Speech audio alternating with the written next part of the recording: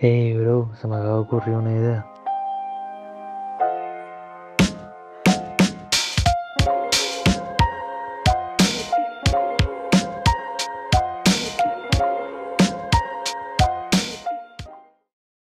Muy buenas a todos, muchas gracias por este apoyo que nos han dado. Hoy tenemos aquí la primera entrevista con 2K. Eh, muy contento de que está aquí, Dani. Muchísimas gracias de que hayas podido venir, bro. Así que de loco. Y nada, bro, lo primero de todo decirte, vamos a hacer una pequeña introducción, ¿vale? Para que la gente, que mucha gente te conocerá en casa, habrá otra que no te conozca. Pues para la gente que no te conozca, ¿quién es 2K? Mm. 2K es un pibe de, del Batán que empezó a rapear, bueno, antes de rapear empezó a hacer grafitis y tal con los chiquillos y eso. Y empecé a escribir mis canciones, a hacer batallas y todas esas cosas y tal, a experimentar un poco con la música. Y después con el paso del tiempo, yo qué sé, uno va madurando tal. mm, Y dejé la música, volví, dejé, volví. Y a día de hoy pues estoy grabando un poquito más en silencio y todo el rollo y sigo ahí, 2K es esa persona que Manteniéndolo keeping real, por Sí, decirlo así, sigue- aparte. quizás ya no rapea como antes, pero bueno, sigue haciendo música, que es lo importante, Es pero calladito la boca, ¿sabes? Que estás todo encendido y yo no fumado. Ok, pues después, ahora que ya sabemos como quién es 2K y demás, quiero ir un par de pasos atrás y saber quién es Dani. ¿Quién es Dani? Quién, ¿Cómo se metió en la música? ¿Si alguien le influyó? Eh, sí, bueno, todo empezó con el mejor amigo de mi, de mi hermano que hacía graffiti. Yo jugaba al fútbol ahí en, la, en, la- en el parque del final de mi calle y tal, con, con. Y un día vimos al mejor amigo de, de mi hermano haciendo grafitis y tal, estaba por allí. Y nos dio por, por meternos en el hip hop en esa época, ¿sabes? El, era, El boom, ¿no? Sí, era como algo novedoso y tal. Y nos metimos ahí a fuego y al final acabamos experimentando pues lo que hacemos a día de hoy. Y como se nos dio bien, pues... Pero eso, yo era un chiquillo del barrio que jugaba al fútbol, que era que paraba con gente mucho más grande que yo, más grande, te estoy Ok. hablando de 6 años más grande, que al final eso se nota. Y al final, pues eso, un chico deportista que jugaba al fútbol, que después empezó a hacer música y tal, y, Ok. y así así. Vale, entonces tenemos la etapa de cuando era Dani pibito, ¿no? Cuando era más un niño. Y ahora ya viene cuando empieza la música. Vale. Empezamos con los GC. Grupo de chiquillos de amigos, te los encontraste y cuadraron y te dijo, mira, ¿me sabes cómo cantas, tal, no sé qué, cómo tal? Pégate par de barras con nosotros, ¿cómo fue eso? Pues empezó, eh, realmente empezó eh, el grupo de amigos que éramos, que era bastante grande, pero a no, to- a no a todos les gustaba lo mismo. Pero básicamente fue Woz, yo, mi hermano mayor, y el chico que hacía grafitis, que te había comentado, que era el mejor amigo de, de ¿Se puede decir cómo firmaba o ni te acuerdas de la época? Slang. ¿Slam? Vale, a Sí, lo sí. mejor algún Slang, seguramente. él hacía grafitis, Luis, un saludo para Luis. Luisillo, que está ahora en, en Bilbao. Ok. Y, y nada, y empezamos ahí con la vaina y todo el rollo. Y vos y yo rapeábamos, mi hermano y el colega hacían graffiti. Y conocimos a Kaiser en unas fiestas del San Juan Bosco, tal. Vos sí lo conocía porque estudiaba con él, pero yo no. Pero Kaiser sí me conocía a mí, una, era una movida. Me conocía porque era amigo de Woz, básicamente. Básico. Pues un día cuadró que Woz no fue al San Juan Bosco a unas fiestas que hacían los viernes allí en el San Juan Bosco. Y fui yo, tenía a mi primo y tal. Y estaba Kaiser. Y Kaiser me dijo, ya, yo vamos para allí atrás y vamos a echarnos unos freestyle. Y al final era una brutalidad, como improvisaba ese, ese chiquillo, era brutal. ¿Sabes? Tenía, y yo hablé con Woz y le dije, chacho, es que Cristian, que se llama Cristian Kaiser, Ok. chacho, Cristian es buenísimo, es que tal. Pues hicimos como un grupo, unimos a Cristian y el que nos grababa las canciones era Kevin Viera. Ok, yo. Entonces dijimos, coño, Kevin también hace música y tal, pues entonces sumamos a Kevin Viera y Kevin Viera sumó a RedTube, que era como jugaba al fútbol con él y todo el rollo y eran amigos de ellos y tal. Y al final hicimos un grupo, hicimos quedadas un par de veces y al final nos hicimos grandes amigos.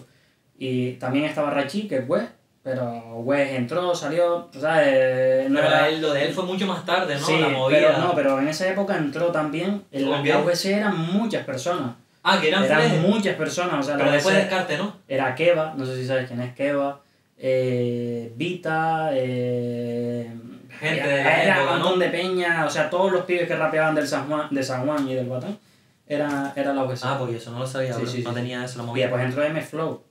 Más tarde, Ok, sí. cuando ya la que VGC ya es mi colega, mi primo. Sí, eh, exacto. Ok. Y éramos cosa de 5 ya después. Y después salió M-Flow, entró Wes, era como un poco más.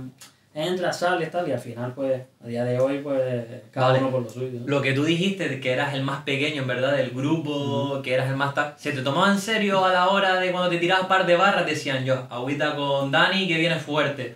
O... No te puedo responder a eso porque no, s- no sé No sabes cómo ellos opinaban. Claro, no sé. Como yo era pequeño, yo me lo pegaba y ellos decían, oh, Yo. oh, Ah, oh". vale, ok. Pero a lo mejor estaban diciendo, oh, en plan, vete por ahí, ¿sabes?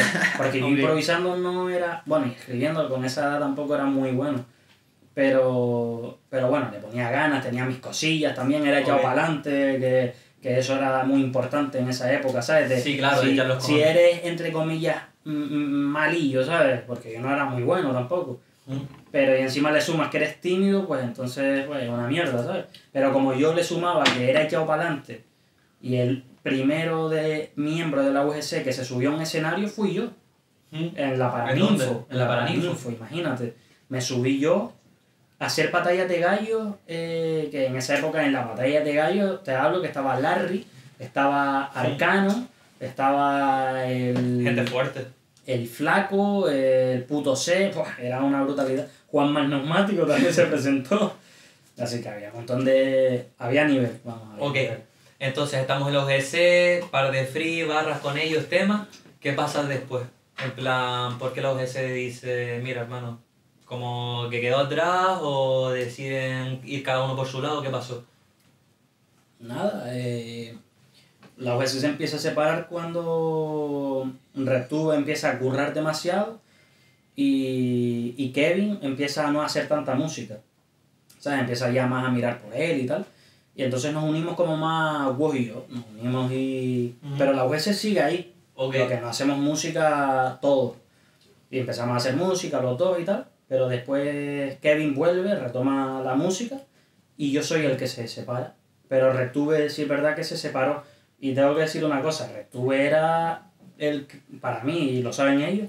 El que más nivel tenía lirical. A ver, era- tuve, yo he escuchado era el un más tema de él, el de que Y hicieron ustedes, también. hicieron un tema con UGC y Bejo, no sé si era Sí, lo de sí. UGC. Sí, sí, era Tuve un tema ahí las barras son sólidas, ¿sabes? En Sí, plan, sí. para mí en ese tema, súper sólido. Sí, sí. Vale.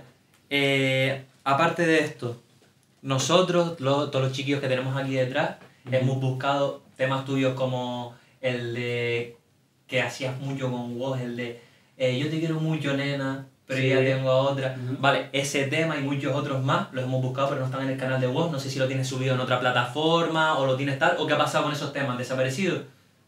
Esos temas, yo que sé, sienta vos aquí, pregúntale a él, porque no sé, no sé, sinceramente. No sabes, porque también los cantabas con él, ¿no? En Sí, plan, sí, sí, sí.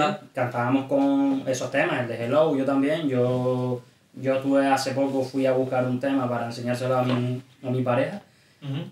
Y no vi ningún tema, pero la verdad que tampoco le he preguntado. pero los a chiquillos nos quedamos diciendo yo y estos temas tal. Yo te tengo que decir que tengo dos temas ahí en el iPhone del Américo, Ajá. que es el de Yo te quiero mucho nena, que no sé cómo es el título, y después el otro que era que no esperas que del oro te caiga la sien Sí, se llama. eh, que no sé cómo se llamaba, Sí, pero que es un temazo, sí, bro. muy guapo ese tema. Ese tema está guapísimo, pero tanto por las barras que te pegas tú por las Pero barras ese, de voz, ¿eh? ese es el que. Bueno, es que sí, bueno, será ese. Sale como un letrero también japonés, tal, Sí, vale, con, vale, eh, perenne, tus perenne. nenas parecen paqui pintados, tal, no sé Sí, qué. sí, sí, sí, bro, eso es decir. A mí me gustan mucho esos temas. Sí, es más, fue el primer tema que, que grabamos de trap. Yo el primer. Ok, vale. Eh, viendo toda esta movida de la UGC, lo que ha pasado, tal, no sé qué, hubiste tú un punto que desapareciste del mapa. En plan, no sabemos nada de 2K, eh, has sacado a lo mejor dos o tres temas, con Daniela sacaste uno, que fue un palo para mí, que estuvo bastante guapo, que fue otro rollo totalmente distinto al que tú solías hacer como rap y tal. Sí, es verdad. ¿Por qué desapareciste? En plan, ¿cuál fue eso que tú dijiste, paso del rollo? Mm, Pues yo siempre he tenido muchas canciones organizadas, o sea, yo te enseño mi móvil y nada, tampoco quiero ser chulo aquí, pero tengo canciones que tú dices, coño, ¿por qué no, ¿por qué no la grabas? La cosa es que no tenía quien me la grabase y no tenía quien me la grabase bien. ¿Sabes? No digo de sonido, sino de comodidad. ¿Sabes? De, de ir al estudio y maquinar algo en el estudio. Eh, A ver, que eso es súper importante a la hora de un Claro. artista, ¿sabes? Sentirse cómodo al grabar, hacer un tema.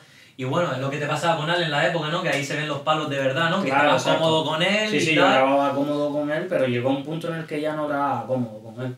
Sí, eh, por, por X. No, no, no, no estaba cómodo conmigo mismo, él tampoco, eh, habían siempre prisas y tal. Y, pero no lo culpa a él ni nada, sino también es Sí, culpa mía. la ¿sabes? época. Y, y a día de hoy pues conocí a un chico ya que, que, que grabo bastante cómodo con él. Pero mm, básicamente desaparecí por eso, porque uno, yo qué sé, se motiva con algo que después no funciona y es como, ¿qué hago? Pues al final te frustras y yo encima que me gusta trabajar básicamente y me gusta también, claro, no- si la música no me da dinero me tengo que buscar dinero en algún- No, está claro. Y como me fui para Lanzarote y todo el rollo, pues desaparecí del mapa, como quien dice. Y encima después vino esto del coronavirus, entonces ya no podía, o sea, era como todo muy complicado. Y ahí fue cuando empecé a, a desaparecer, pero, A veces es mejor desaparecer y ordenar pero la me idea. sabe, me sabe también. Mm, Yo siempre he pensado y siempre lo he hablado con la gente, de que si yo hubiese seguido con la música, creo Mm. que podía haber llegado muy lejos, pero también creo que yo no valgo para pegarme en la música, creo yo. O sea, mi actitud no vale para... ¿Y por qué tú crees que no vales con esa actitud? ¿Porque te rayas en cero? Porque ¿Pasas que la gente te la venga a comer y siempre es como la cara de la otra moneda, de falso y tal? ¿No sabes quién viene de real? Soy un poco como... sí, como bipolar, un poco, sí. Ujú. Siento que puedo estar bien ahora, tal, no sé qué, pero a lo mejor llego a mi casa y me da un trave y... Vale, Eh, Sí, creo que soy bipolar o algo así. preguntita bipolar. Eh, ¿El ser bipolar puede ser por ser el rey del tururú? A lo que me refiero a esto. De tu buena época, de la buena tal, que tú viviste más tal, de lo que tal. ¿Se podría decir? Nah, yo... O bipolar porque eres así y es tu forma de ser. Yo creo que soy bipolar porque es mi forma de ser. Soy bipolar. Con las únicas personas que no soy bipolar es con, con mi novia y con mis amigos, ya está.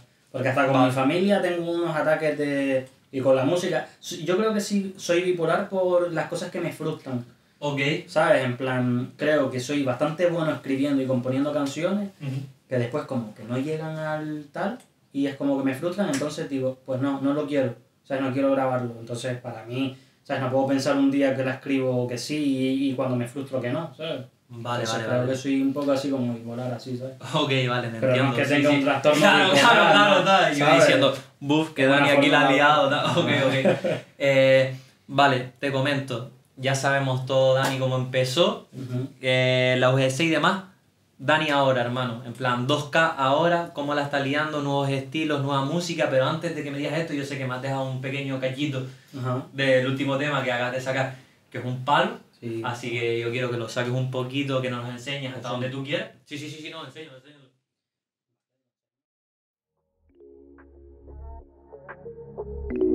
Me tienes mirando tu foto, ey, ey, ey, yo. Me tienes mirando tu foto en todos lados. Me tienes mirando tu foto. Va de santa pero tiene un culo de pecado.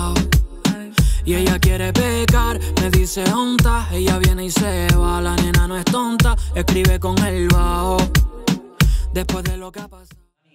Palazo increíble el que acaba de sonar ahora. La verdad es que está bastante bien el tema. He escuchado que hemos hablado antes por ahí atrás que va a haber una colaboración, pero no podemos decir quién es. Sí, pero sí, está bastante bien el tema. La verdad es que yo creo que es otro estilo totalmente al que tú utilizabas antes. Sí, bastante. Te tengo que decir también que a mí el rollo rap es lo que más me marca. En plan, antes tenías barras muy duras, pero este nuevo estilo, tío, te da un nuevo rollo. Así que me saca un montón, ¿sabes? Está Sí. muy guay. Y vale, lo que te quería, como, eh, lo que te quería decir. Primero, eh, ¿te vas a Irlanda, puede ser? ¿O algo así se escucha que he escuchado por ahí?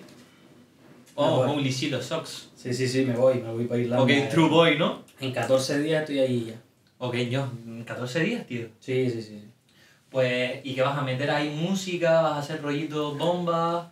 Eh, mi- ¿O qué tienes pensado hacer en Irlanda? En plan, ¿qué vas a hacer? A ver, suena de cursi lo que voy a decir, pero el principal motivo por el que me voy es por, porque mi novia esté bien, porque como está trabajando aquí está media jodida y tal, eh, está que sale el curro llorando y cosas muy movidas así que pasan en España, desgraciadamente. Sí, porque aquí la situación está Y- fatal, la verdad. Y mis mejores Y- amigos, casualmente, Daniela también, bueno, Daniela está en Madrid, pero bueno, su familia está en Irlanda. Ujú.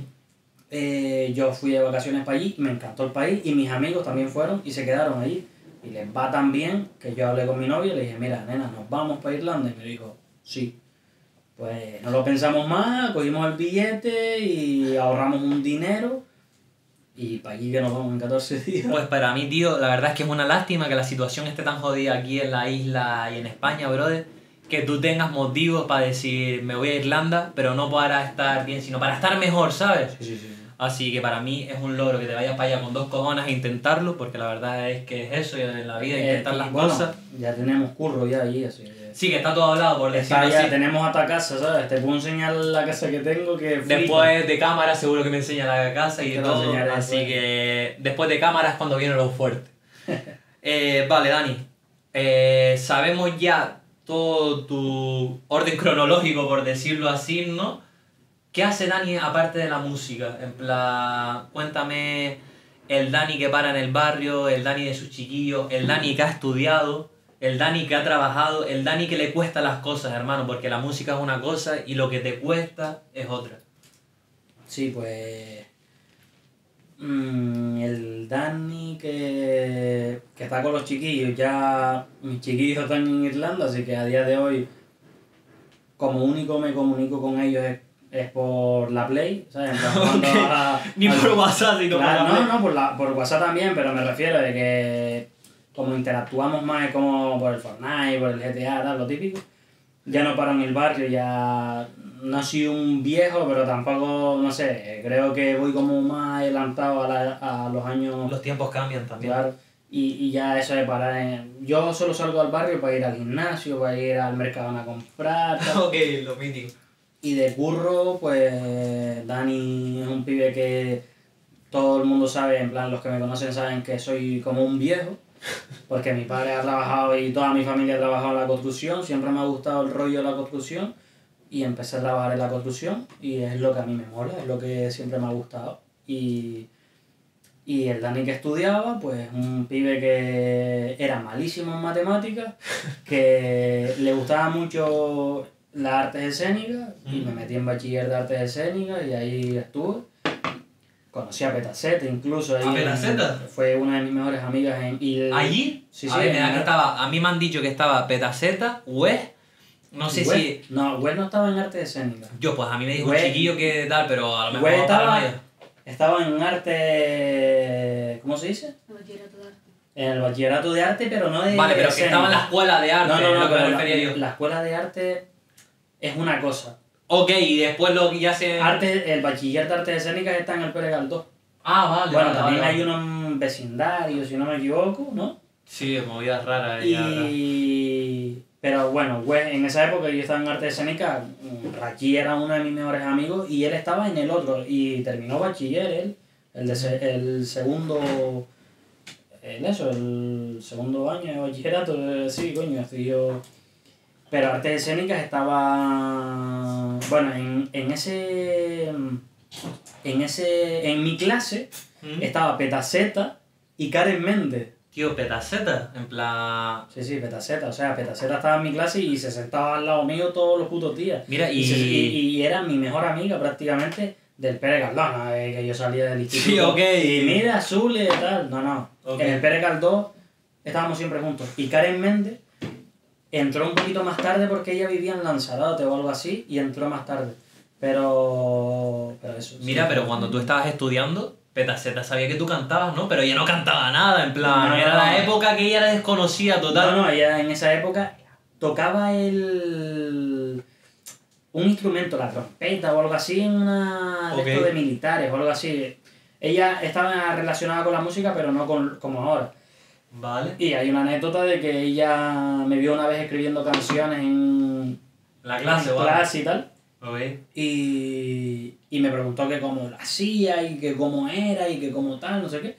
Le expliqué cómo era, cómo escribía yo y al final ella, pues a día de hoy, en una entrevista, que no sé qué entrevista es, eh, les dijo que ella empezó su curiosidad por la música por mí, básicamente. Dani, si no me equivoco, mi mentalidad de tiburón dice que un 5% va por ti mínimo, ¿sabes? ¿Mm? Un 5% de los temas que cante Petaceta va para ti, ¿no? Porque Sí, sí, si le no. enseñaste a cantar, le enseñaste a Yo- escribir y demás. Yo me llevo un 10% de cada canción 10%, que saca ¿no? ella. Claro, me llega- llega a mí cuando... Llega a sí, sí, Santander, sí. llega a Santander fuerte, ¿no? Sí, sí, me llega a mi cuenta, vamos, Vale, brother. y millonario gracias a ella. Vale, pues eh, ahora ya va hablando así un poquito de lo que ha dicho Dani y demás. Eh, anécdotas de Dani. En plan, Dani, estuviste en la UGC, Ajá. eh, fleje de chiquillos metidos. En esa época el rap era súper opaco, por decirlo así. Eh, no entras aquí, eh, mis temas son tal, mis temas son cual. No, no lo veo así. Yo, Dime tú cómo lo ves, porque yo no tengo ni puta idea. yo creo que ahora es más así. O sea, ahora hay menos personas que te brindan la oportunidad de tal. Antes era como todo más light, ¿sabes? Más... O sea, es verdad que yo estaba en la UGC, para ser honesto, creo que la UGC de la nueva escuela, porque la vieja era Nirvan, Buda, la Fat Squad y tal, está aquí, la que es un colegazo, pero la UGC era como el... el- Yo creo que del gueto y la UGC era como los grupos más potentes de la nueva escuela. Ok, de la Ghetto Crew, ¿no? El Sí, Ghetto sí, el gueto griego. Que El Profano, sí, Loki, el, el pequeño, el pequeño, el flaco y tal. Fuertísimo esa gente, barras también. Eran potentes, aparecimos nosotros, y era, pero nunca hubo guerra. Ok, ¿Me nunca se tiraron entre ustedes, y, ¿no? Y, y te puedo decir más, que creo que la gente no lo sabe, Woz y yo pertenecimos a la del Ghetto Crew. Al Ghetto Crew. Pertenecimos a ese grupo, per- pero también a la UGC. O sea, sacábamos temas con Del Ghetto, pero en vez de poner Del Ghetto Fit 2K Woz, ponían Del Ghetto y ya está, y salíamos nosotros. Ok. Pero eso era hermandad, ¿sabes? Eso era. mm, Éramos como. Todos éramos una piña, en- Ok. en verdad, ¿sabes? La Germen Squad, todos los grupos así potentes de la isla, éramos una piña. Es decir, que eran una piña, pero no había pique entre No, ustedes. no, no, no. En plan, algún- hermano, ¿qué tema se acaba de sacar vos? Exacto. Agüito tal, tengo que superarlo, No, tengo no, que no, tal. no, no. Nada de ese rollo. Nada de ese rollo, al contrario. O sea, creo que en esa época Woz era el más potente de la UGC y del gueto, por ejemplo, era el profano.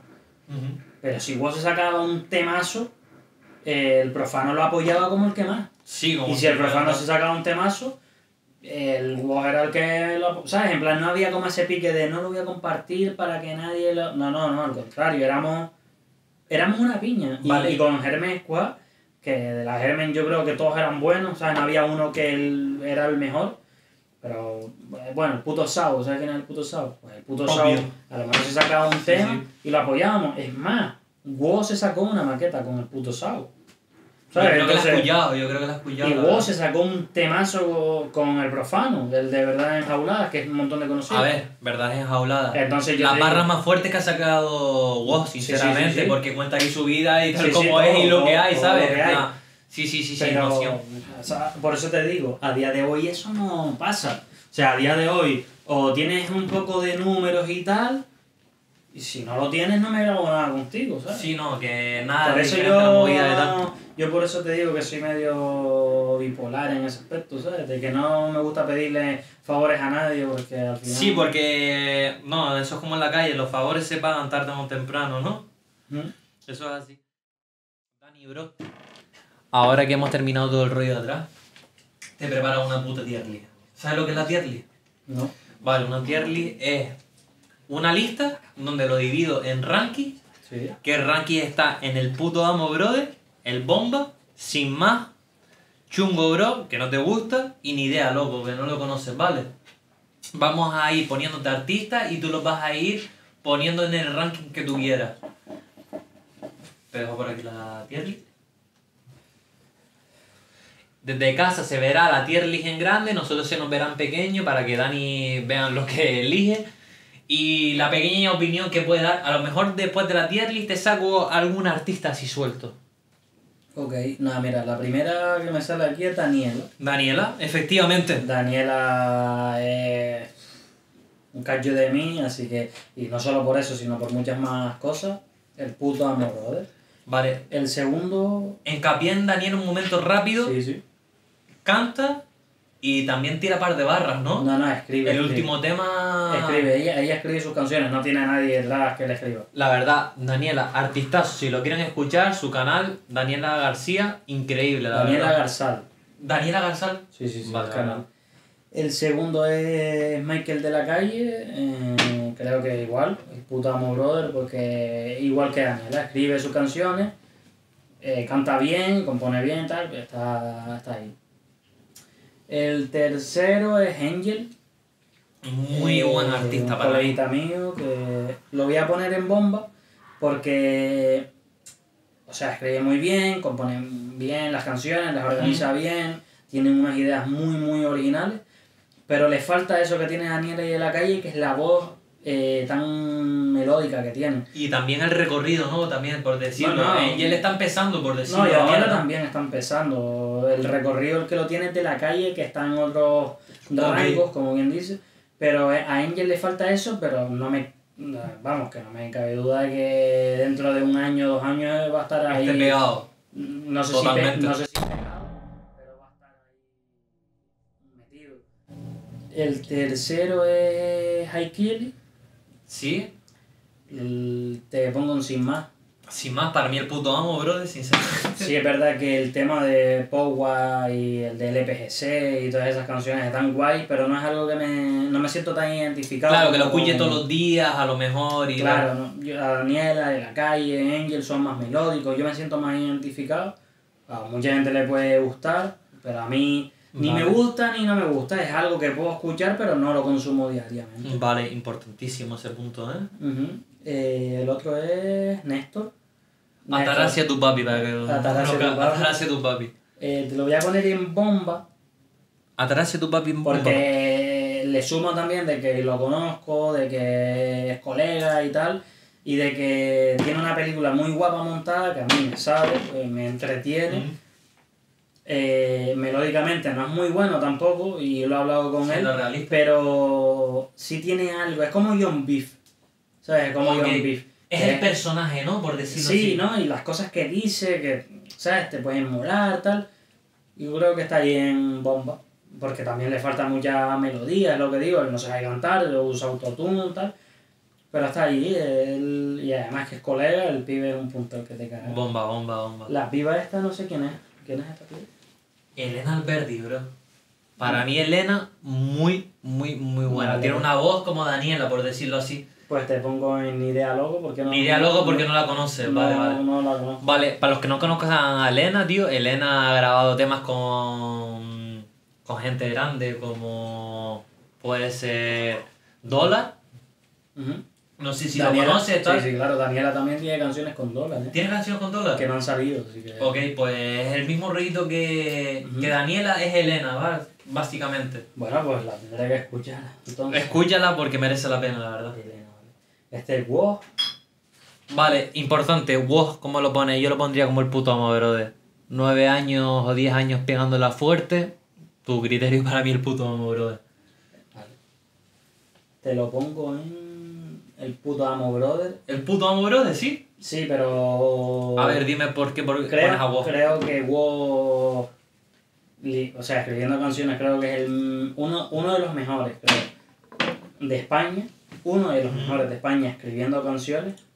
Pero está entre el puto amo y bomba porque Mm. todas las canciones prácticamente son como muy parecidas, pero escribiendo supera tanto a los demás que está ahí. O sea, gracias a sus letras. No, es que son una voz muy- solo. tiene, tiene una voz también muy original, tal. Pero le falta un punto más, pero yo lo pongo en el puto amo, brother. Yo Para mí, honesto. para mí, wow, el papá de la isla. El papá de la isla porque lleva un recorrido, la verdad, con muchos de la gente, yo que sé, o llegar a un par de personas que llevan un recorrido increíble y nunca se ha por vencido. Así que wow, keeping real, mi respeto. Así que el siguiente, no sé quién es, a ver, dímelo, a ver. ¿No? ¿Este quién es? Yo, pero de Gecano. Gecano es un piquito de Tenerife.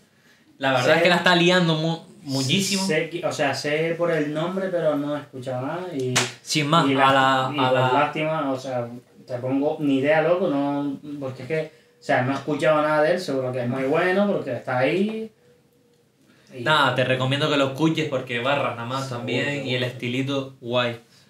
Avir. mm, El puto amo, brother. Te voy a poner sin más. Yo. Vale, tú. Te pongo sin más porque tampoco lo consumo tanto. o sea, vale, me he vale. escuchado dos o tres temas de él. Es que no es lo mismo que Angel, que saca una canción y, la escucho. eh, Daniela saca una canción y la escucho. Y de la calle Hugo saca una canción y la escucho. Ok. Haikil y, y Avir mm, son personas que no.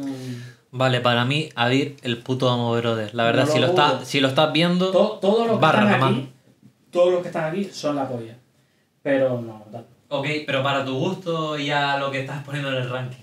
Petaceta, te pongo el puto amo. Te pongo el puto amo porque es la puta ama. No, es que no hay más, ya está, no hay más. O sea, es la puta ama. Vale. Y estos dos pibes, ¿este pibe quién es? La Pantera, tío. La Pantera está sonando fuerte en la isla, está pegando un par de barras con Quevedo, con esta gente. Eh, La verdad es que estaba, está sonando bastante. A mí me gusta, no es el que más me gusta, pero yo creo que puede llegar bastante alto No lo dudo, más, ¿no? ¿no? No, no lo dudo. O sea, se- eh, yo te digo que los que están aquí, si los pusiste es porque son buenos. Claro, no. Pero no sé. No sé vale, pues. No he escuchado nada. De los que están en idea loco, es que no he escuchado Vale, nada. No sé. pues idea. Pero también es verdad que no consumo mucho tampoco música aquí, ¿sabes? Ok. Y este pibe es Quevedo y te lo voy a Sí. poner en bomba. Porque el pibe se lo pega, está ahí, escribe Está bien. empilicado. ¿Eh? Es que está impilicado también, Sí, ¿no? sí. ¿O no? No, y, y tiene una voz también un montón de original, así que... Esta es la... Último temazo, el de universitaria, que la verdad es que es un temazo que te Sí, caga porque nos identifica a todos, ¿sabes? Esto es una mata. tier list, se llama tier list. Tier list. Pues esta es la tier list. No, pues esa es la tier list. Y vale, y si te digo artistas fuera de la tier list, como puede ser, ¿sabes quién es? La Suga. No. Brother, es un pibito de Tenerife. Que si tú quieres rap sin cortar, como le llamo yo, rap sin cortar, el mejor que puedes escuchar. Le produce MP Drums. No sé En- si. en- eh, claro, claro. M Padrón. en Padrons, vale. M. Padrón, sí, sí, claro que lo conozco. tú. Y. Élite. Vale, eh, seguimos. Yo, Dani, la verdad es que ya con la entrevista tení- quería pedirte un favor, por decirlo así. Quería pedirte un favor y yo te lo voy a proponer y a ver qué piensas tú. Mi favor es que yo sé que tú eres gran amigo de Daniela, ¿no? Ajá. A mí me haría muchísima ilusión, y yo creo que a la gente que nos estará viendo, que Daniela venga y se sienta al lado tuyo. eh, una entrevista, que nos cuente, que tengamos aquí un buen rato y a ver qué tal sale. ¿Qué opinas? Mm, ¿El móvil? ¿El móvil? ¿Lo tenemos cargado? Yo la llamo y se lo ¿Que pregunto. la vas a llamar? Sí, sí, sí, la llamo. No, no, es coña. Que no, que la- Pero a lo mejor está liada ahora. Nah. Ella, ella para mí no está liada. ¿no? ¿La vas a ir? A ver. Tío, eh, me miró una entrevista de Michael de la calle Y la nombra. y la nombra. Y que Daniela está fuerte. La pasó por el grupo, me parece, ella, esa Sí, entrevista. sí. A ver, Daniela. Por el grupo de nosotros, de, de los amigos y tal. Eh, nada, nada, la llamo. Nadie me está viendo en la cámara, por favor. One more.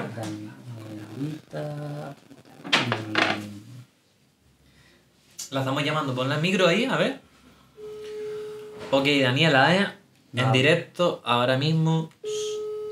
Hablas tú, Dani, ¿no? Sí, no, vas a hablar tú. Está ocupada, me había dicho que estaba rodando un vídeo y no. Si lo coge de loco, si no, nada.